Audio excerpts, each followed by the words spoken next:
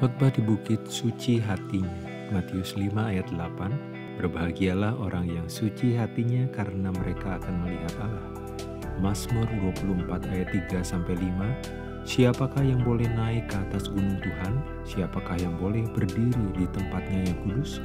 Orang yang bersih tangannya dan murni hatinya, yang tidak menyerahkan dirinya kepada penipuan dan yang tidak bersumpah palsu, dialah yang akan menerima berkat dari Tuhan dan keadilan dari Allah yang menyelamatkan dia. Mazmur 51 ayat 12 Jadikanlah hatiku tahir ya Allah dan perbaharuilah batinku dengan roh yang teguh.